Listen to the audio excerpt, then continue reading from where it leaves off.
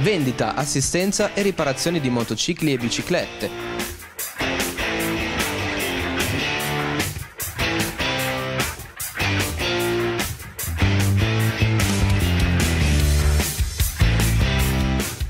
Ma anche abbigliamento moto e caschi.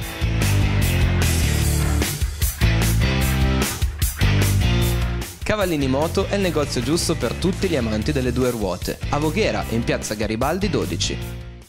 Questa è una responsabilità precisissima dell'amministrazione comunale di centrodestra che ha abbandonato il servizio di farmacia alla città.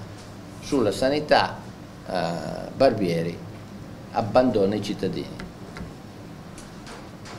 È menefreghismo, voglio dire, no? è superficialità estrema, non, non, partecipare alla conferenza dei sindaci ah, e non rispondere dopo. assolutamente, non intervenire sulla calendarizzazione, non l'hanno neanche vista. Pierezzo Ghezzi usa parole dure per attribuire la responsabilità all'amministrazione di centrodestra in merito al cambio di calendarizzazione sull'apertura notturna di una farmacia a Voghera. Regione Lombardia ha rivisto gli ambiti numerici all'interno dei quali garantire il servizio notturno delle farmacie. ATS Pavia, l'azienda di tutela della salute, ha convocato Federfarma ed i sindaci della provincia, spiega il consigliere comunale del PD, per dire loro i dettami della nuova legge e per capire la loro posizione rispetto al fatto che nei loro comuni sia garantito il servizio di farmacia notturna.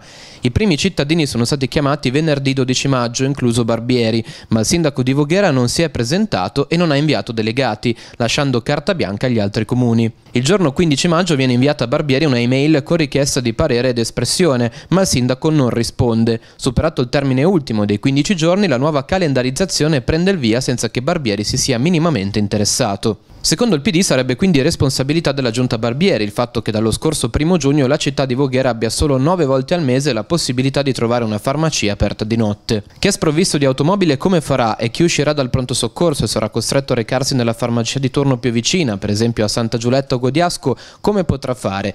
E quando a novembre e dicembre ci saranno ghiaccio e nebbia notturni, come verranno tutelati i cittadini? Le domande che Pierezzo Ghezzi rivolge al sindaco Barbieri sono numerose.